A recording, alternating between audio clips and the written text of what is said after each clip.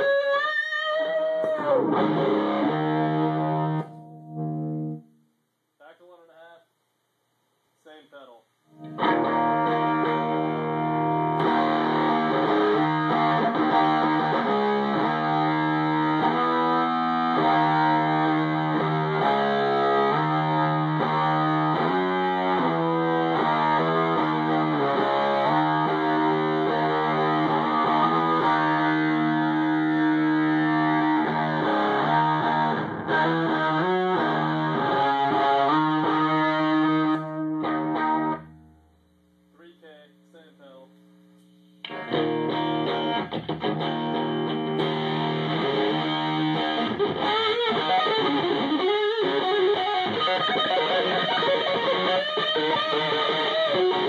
you.